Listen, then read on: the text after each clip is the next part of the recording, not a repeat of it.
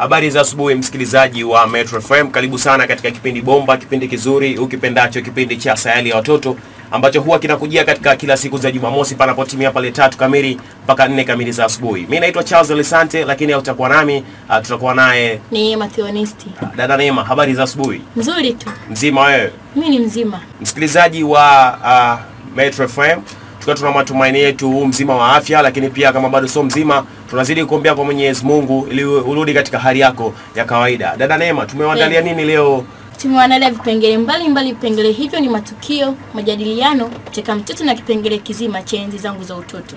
Msikilizaji, vyote hivyo vitakujia kwako kwa burudani safi kabisa ya muziki kutoka kwa wasanii mbalimbali katika ulimwengu huu. Hivi sasa uh, tuanze katika kipengele kizima cha matukio ya watoto. Yafuatayo ni baadhi ya matukio ya watoto yaliyojiri ndani ya wiki hii nzima.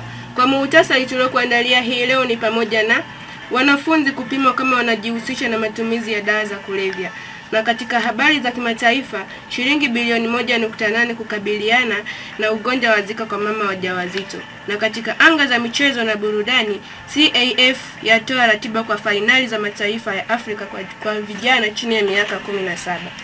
Kwa kuanza tunaanza na matukio ya watoto kitaifa. Waziri wa Afya na Ustawi wa Jamii, Jinsia, Wazee na Watoto, Mheshimiwa Umi Mwalimu ametoa pendekezo kuwa kuwepo na utaratibu wa kuwapima wanafunzi wa shule za msingi na sekondari ili kubaini iwapo wanatumia madawa ya kulevya. Mheshimiwa Umi Mwalimu alitoa pendekezo hilo kwa mkemia mkuu wa shule wa serikali, lengo likiwa ni kukabiliana na ongezeko la idadi la vijana wanaojiingiza katika wimbi la matumizi ya dawa za kulevya. Aidha, alisema kuwa hiyo itakuwa ni njia mojawapo ya kudhibiti matumizi ya dawa za kulevya miongoni mwa vijana na majaribio yaanze kufanyika katika mkoa wa Dar es Salaam, Tanga na Zanzibar, ambapo ndiko kunakoongoza kwa watumiaji wa dawa ya kulevya na ndipo panapotumiwa kuingia madawa hayo kama vile heroin, cocaine na mengineyo, hivyo hurahisisha upatikanaji wake. Kwa matukio haya ya kitaifa na kimataifa, tuungane na mwanaspoti wetu Ibrahim Rashid kwa matukio ya michezo na burudani. Mashindano ya kusaka timu ya taifa riadha ina- itaka- itakayoshiriki michuano ya Afrika Mashariki na Kati kwa vijana wenye umri chini ya miaka 19 itafanyika baadaye nchini yatapigwa Februari 21. Kaimu katibu mkuu wa riadha Tanzania LT Ombeni Zavara alisema kuwa mashindano hayo ya mchujo yatafanyika kwenye uwanja wa taifa jijini Dar es Salaam. Alisema kuwa mashindano ya Afrika Mashariki yatafanyika pia kwenye uwanja huo huo kuanzia April 22 na 23 mwaka huu. Alisema kuwa LT inaendelea na maandalizi ya mashindano yote mawili ambapo tayari imetuma mialiko kwa timu zote za nchini ambazo zitashiriki mashindano hayo ya mchujo. Kwa habari hizo za mchezo na burudani, ndio tunatimisha kipengele cha matukio ya watoto wiki hii yaliyotoka kwenu nami mtoto mtangazaji Ibrahim Rashid. Shukrani sana, naendelea kusikiza sali ya watoto ya Metro FM. Ah, lakini pia msikilizaji, hatuja kutupa unayo fursa nzuri kabisa ya kushirikiana nasi ah, kupitia simu nambari 0659100070. Imenifikia huyu anasema anaitwa Mzuma wa Mtunguru, anasema tunasikilizana katika sayali ya watoto katika matukio yaliyojiri wiki hii nzima. Asante sana Mzuma. Na huyu hapa anasema tuko pamoja katika kipindi cha sayali ya watoto bai Majaliwa. Asante sana Majaliwa.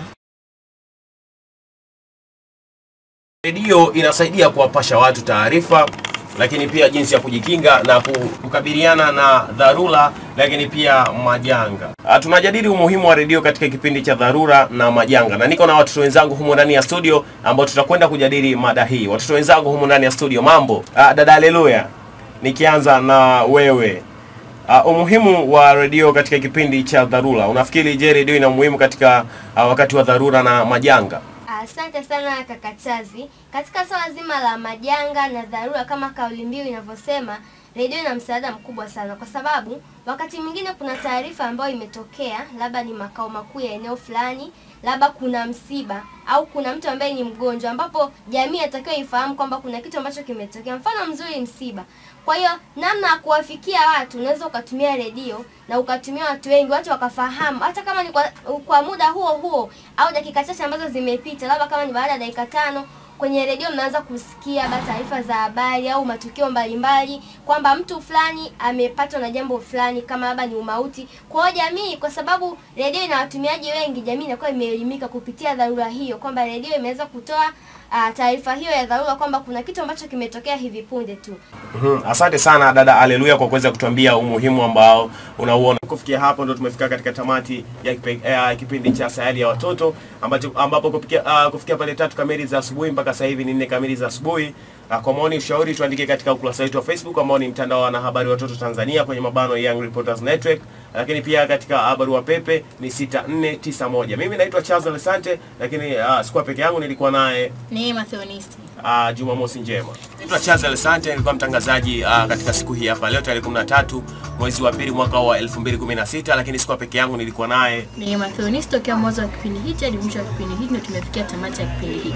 Uh, msikilizaji, kwa siku ya leo kipindi kimeenda kizuri kwa wastani, lakini pia tumeweza kujadili vitu mbalimbali. Tulikuwa na matukio ya watoto wiki hii, lakini pia tulikuwa na kipengele cha majadiliano ambapo leo ni siku ya redio duniani. Kwa hiyo tumeweza uh, kujadili na watu wenzangu na Watanzania kwa ujumla kupitia ukurasa wa Facebook na nambari za simu. Watanzania wameweza kutuma uh, SMS mbalimbali kuhusiana na siku hii ya redio duniani katika kipindi cha majanga Na na dharura.